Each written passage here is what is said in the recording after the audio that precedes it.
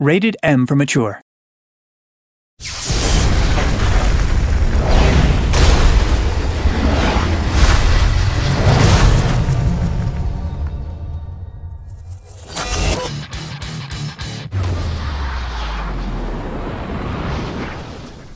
Normally, when you play a first person shooter, you see enemies and you want to run from them because you're scared because they're going to shoot you and you have to take cover. This is not that game.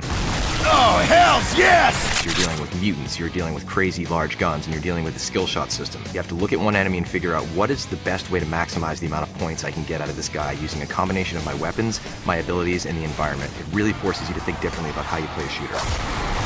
You like that shit? Because our game is really about the skill shot system and skill points, everything in our weapons is supporting you being kind of a creative madman. The Peacemaker Carbine. It's a gun that can unleash 100 bullets on your foes, liquefying them into a skeleton. It can also shoot them and take them out in a traditional manner. The Flail Gun. It's basically two explosives attached between a chain, and you throw it at somebody. You can wrap it around their neck, you can wrap it around their legs, kick them up in the air, and then explode them. Oh, epic flail! The Bone Duster. Every game needs a shotgun, and this game has a Four. Dusted. One, two, three, four. four barrel shotgun. Do I need to say anything else? Actually smell bitter on the inside. The Bouncer. Bounced into oblivion. Bouncer's like this giant cannonball launcher. You can throw out this ball that just barrels across the battlefield like a cannonball, but you can also unleash it as a repeated explosive device that will sit there and pound the ground like a pile driver. And the Minigun. The minigun in Bulletstorm is basically an extension of Grayson's penis. Suck it! What the fuck? Stay cool.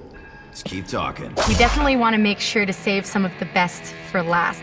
We have a number of really cool and unique weapons that we're going to be hopefully talking about soon. You're kidding me. I am not. Then fire! Multiplayer, multi, multi. Player.